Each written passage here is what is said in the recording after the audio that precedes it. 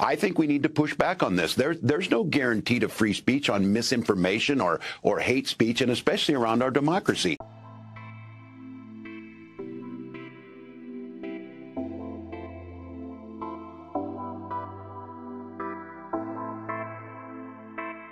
the show you've been waiting for. If this is your first time tuning into the Miguel Lopez Show, don't forget to like, comment, share, subscribe so we can continue beating the algorithm. Ladies and gentlemen, welcome back. Let's talk about it.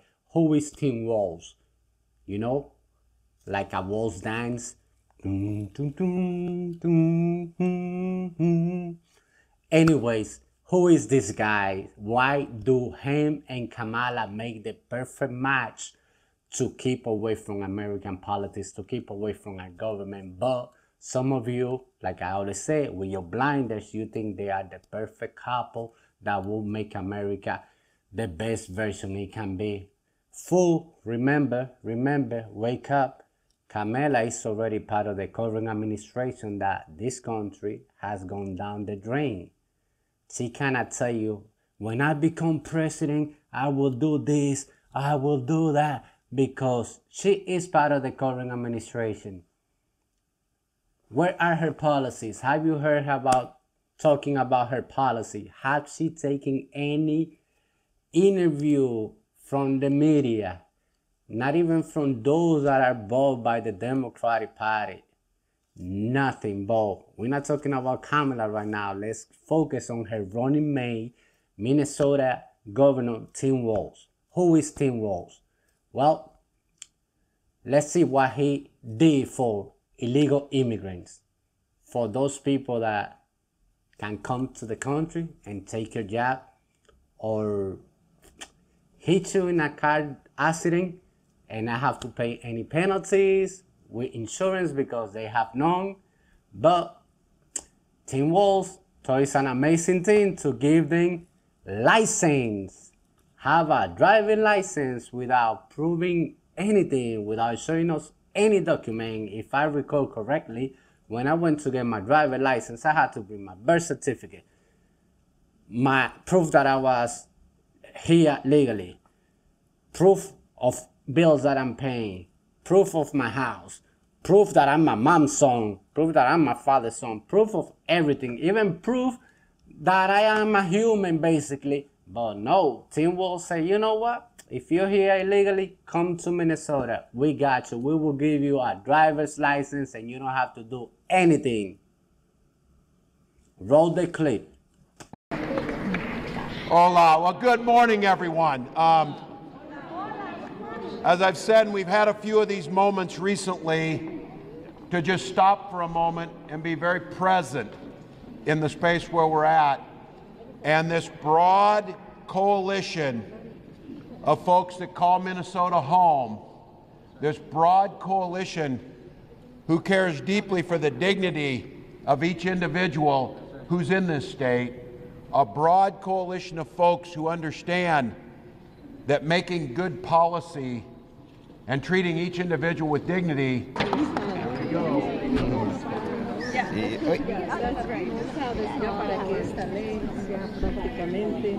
Oficial aquí en el estado de Minnesota, el gobernador. It's pretty, it's so pretty. Fue su primera gobernador en el año 2019. Ah, Can you believe this guy? Man, he just gave immigrants, illegal immigrants, a driver's license. No need to prove anything. No need to prove that you're here legally. Go ahead, jump over the border, cross the border. We're not gonna stop you. Like the current administration don't care. They won't stop you. Then come to Minnesota and boom, we get you a license. And some of you, what you don't know is that most of these immigrants coming through the border, through the southern border, they are not Mexican. They most of them are not Mexican.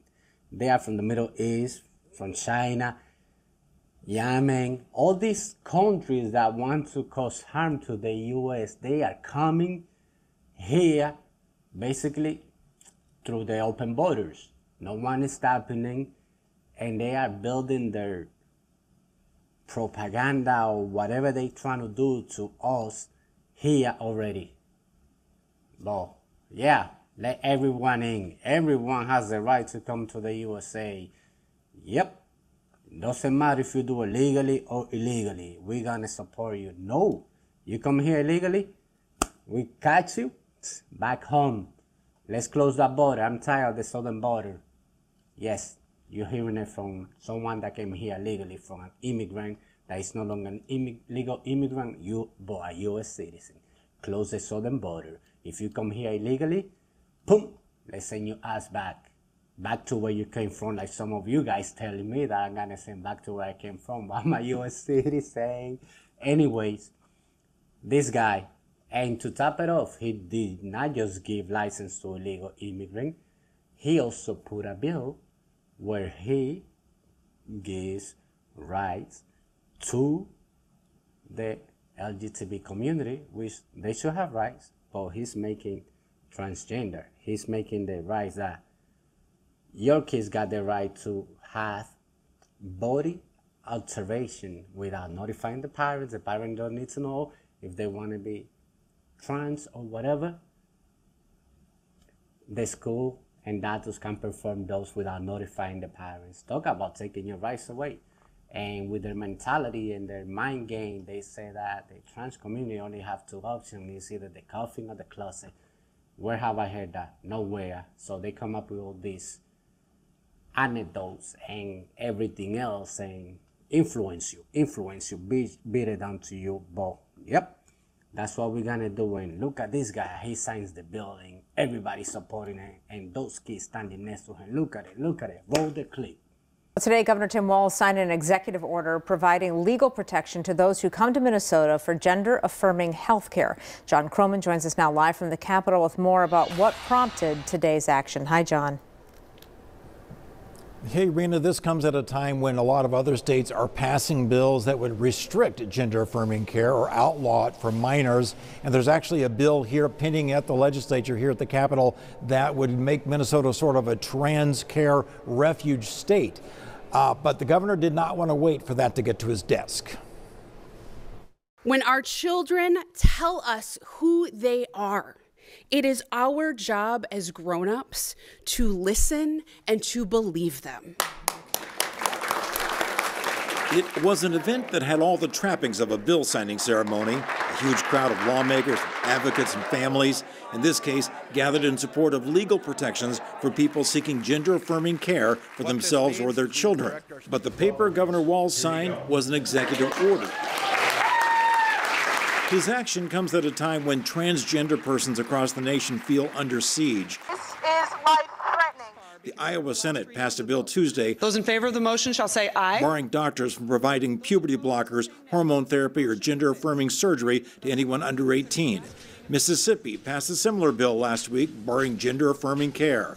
In New Hampshire, there's a bill that would require schools to tell parents what their kid's gender is. We'll make sure that Minnesota's place as a welcoming, loving, neighborly state where you are welcome and will be free of persecution or anything else that we're trying to see in some other states. In committee hearings, GOP lawmakers have asserted children are too young to make decisions about gender. These are damaging, lifelong procedures. They've also brought up custody disputes. If one parent brings a child here for gender affirming care and the other parent lives in Alaska, do you believe that that would be inconvenient for the parent that lives in Alaska? Many states are asking their people to their queer people to find two spaces that are comfortable, the closet or the coffin. And we are saying we are not going to accept that in Minnesota. In Minnesota, you can, like I said before, you cannot make this, uh, but that's not enough. I got more. Can you believe there is still more? This guy is full of surprise. Oh my God. It's an amazing character. He also wants to tremble on your freedom of speech, on your First Amendment right. There is no such thing as freedom of speech protection if you're telling misinformation. So let's say it. If we go by your own narrative, by your own opinion, by your own intellectual capacity of saying that if you promote misinformation or hate speech, you should not be protected from the First Amendment. When that's when you should be protected. But let's go by your analysis. Then Kamala Harris, you yourself, and everybody else in the Democratic Party should be prosecuted because the most thing you do is provide hateful speech and misinformation. I think we need to push back on this. There, there's no guarantee to free speech on misinformation or, or hate speech, and especially around our democracy. Not only they want to tremble on your First Amendment, your freedom of speech, they also want to tremble on the Second Amendment that protects, gives you the protection for your First Amendment.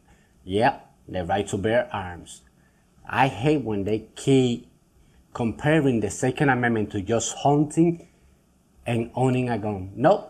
Second Amendment doesn't only protect you from hunter to be a hunter, and they keep on talking and talking about gun violence and gun this. I will listen to all those people that want to implement more restriction on the Second Amendment. Not really, I will not listen, but I will pay a little bit more close attention to you when you try to implement those and you don't have Secret Service. You don't have Secret Service protecting you. You don't live in a freaking million dollar house. You don't live in the best community. I want you to go and move into the inner cities in Chicago, a red flag state that has one of the toughest gun law, and look at the criminality there. So Tim is a hunter and a gun owner who believes, as the majority of gun owners do, that we need reasonable gun safety laws in America. We are finally going to pass universal background checks, red flag laws, and an assault weapons ban. Every time they try to oppress or put more regulation onto the Second Amendment, they are not protecting you, law-abiding citizen.